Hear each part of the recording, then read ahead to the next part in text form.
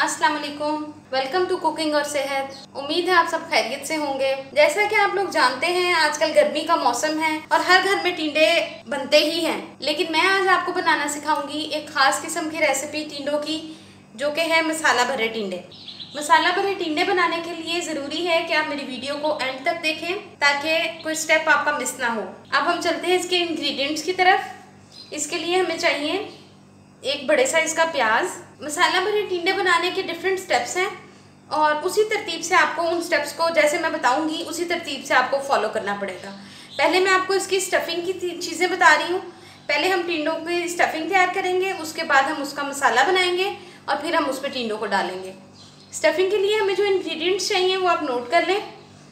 पहले हमें चाहिए एक बड़े साइज़ का प्याज, एक बड़े साइज़ का टमाटर छः सात गार्लिक के पीसेस तीन सब्ज़ मिर्चें, एक चम्मच नमक, और ये मैंने लिया है अचार का मसाला। जो भी हमारे घर में अचार अवेलेबल होता है, उसका मसाला आप ले लें। अगर आपके पास ये नहीं है तो आप नेशनल का जो अचार गोश्त मसाला होता है, उसका आप एक चम्मच ले लें। और एक चम्मच हमें चाहिए ज़ीरा, और थ्री टेबल स्पून हमें चाहिए बेसन के। और हमें चाहिए हरा धनिया और पुदीना। इन दोनों को मैंने मिक्स करके इस तरह से बारीक काट लिया है। और हमने लिए हैं आधा किलो टींडे। ये टींडे मैंने छील के इनका बीच में से गूदा निकाल लिया है। ये मैं आपको बताती हूँ कि किस तरह से आपने इसको निकालना है। ये देखें, एक छोटा चम्मच लें और एक छोटे चम्मच से आप अंदर से इसका सारा गूदा निकाल दीजिए। ये देखें, ये टींडा हम हमारा, ये इस तरह से टींडे को हमने इस फॉर्म में ले आना है। ठीक है जी?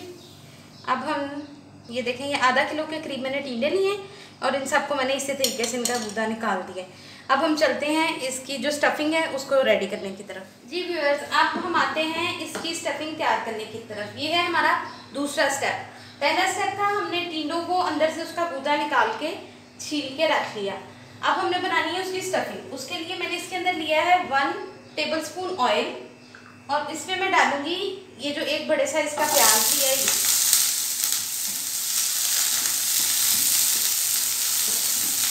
प्याज को हमने जलाना नहीं है, यानी गोल्डन नहीं करना, सिर्फ़ प्याज नरम करना है।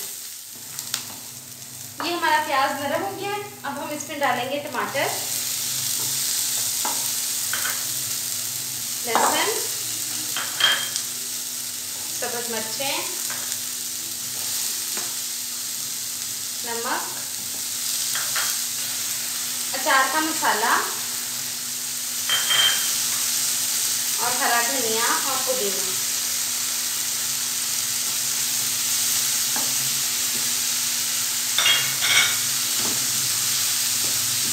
ये हमारा मसाला रेडी हो रहा है। अच्छा जी, ये हमारा मसाला तैयार हो गया है। अब हमने चूल्हे को बंद कर देना है और इसको ठंडा होने देना है। इसके बाद जो इसका थर्ड स्टेप है, वो मैं आपको बताऊँगी। और अगर अभी तक आपने हमारे चैनल को सब्सक्राइब नहीं करवाया तो प्लीज़ हमारे चैनल को सब्सक्राइब कीजिए, हमारी वीडियो को लाइक कीजिए और बेल आइकन को ज़रूर प्रेस कीजिए ताकि आइंदा आने वाली वीडियोस आपको मिल सके। जी व्यूअर्स ये देखें, वो जो मसाला मैंने आपको जो चीज़ों के साथ मसाला बना कर दिखाया था, वो ठंडा हो गया था और फिर मैंने उसको ब्लेंडर में डाल के ब्लेंड कर लिया। आप उसको ब्लेंडर में डाल के ब्लेंड कर लें या चॉपर में कर लें। अब इसमें ये जो मसाला सारा मैंने ब्लेंड कर लिया। अब इसके अंदर मैं ये जो तीन टेबल स्पून बेसन के लिए थे, ये मिलाऊँगी। और साथ में इसके ऐड करूँगी ये ज़ीरा।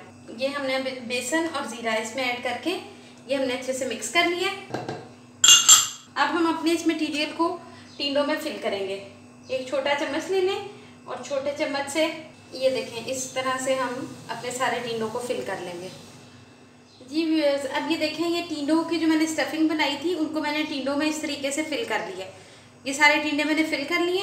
अब हम आते हैं अपने नेक्स्ट स्टेप की तरफ़। अब हमने बनानी है टींडों के लिए ग्रेवी जिनमें हम ये टींडे कुक करेंगे। जी तो ग्रेवी बनाने के लिए हमें जो इंग्रेडिएंट्स चाहिए, उसमें हैं दो बड़े साइज़ के प्याज, जिसको मैंने ऐसे बारीक काट लिया तीन टमाटर हैं, जिसको मैंने पानी डाल के ब्लेंडर में डाल के, उसका इस तरह से पेस्ट बना लिया।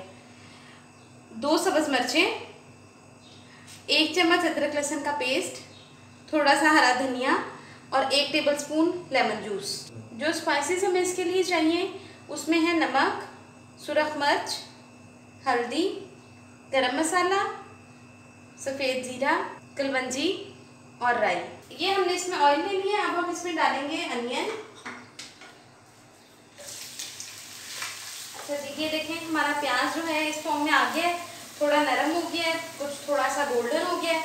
अब हम इसमें डालेंगे कलवंजी. राई ज़ीरा, नमक, कुछ बोलते हमारा प्याज नरम हो गया थोड़ा सा गोल्डन हो गया। अब हम इसमें अपने स्पाइसेस ऐड कर देंगे। अब हम इसमें डालेंगे ये जो टमाटर, टमाटरों की प्यूरी बनाई थी हमने, साथ हम इसमें डालेंगे सब्ज मिर्चें अदरक लहसुन का पेस्ट जी तो तकरीबन पाँच मिनट हो गए हैं हमारे मसाले को। मसाला हमारा भून गया है। अब हम इसके अंदर डालेंगे one tablespoon lemon juice और ये कोरिएंडर थोड़ा सा इसको और भूनने के बाद, थोड़ा सा इसको और भूनने के बाद ये जो भरे हुए टींडे हैं, इनको हम इस तरीके से अपने मसाले में रख देंगे। इसमें रखने के बाद हम इसको ऊपर से ढांकते हैं और इसको हम 15 से 20 मिनट हल्की आँच पर कुक करेंगे। जी तो ये देखिए, ये हमारे टीनों को 15 मिनट्स हो गए। अब हम क्या करेंगे, जो हमारा मसाला है, उसको थोड़ा थोड़ा सा उठाएँगे और इस तरह से टीनों के ऊपर डाल देंगे। ये डालने के बाद, ये देखिए, हमने मसाले को टीनों के ऊपर डाल दिया अब हम क्या करेंगे, थोड़ा सा पानी लेंगे और थोड़ा थोड़ा पानी हम मसाले के साइडों पे डाल देंगे ताकि मसाला हमारा जले नहीं अब हम इसको मज़ीद पंद्रह मिनट कुक करेंगे, ताकि टिंडे हमारे गल जाएँ हल्की आँच पर। जी तो ये देखें, ये हमारे मज़ेदार स्टफ़ टिंडे रेडी हैं। अब मैं इसको डिश आउट करती हूँ और फिर आपको दिखाती हूँ।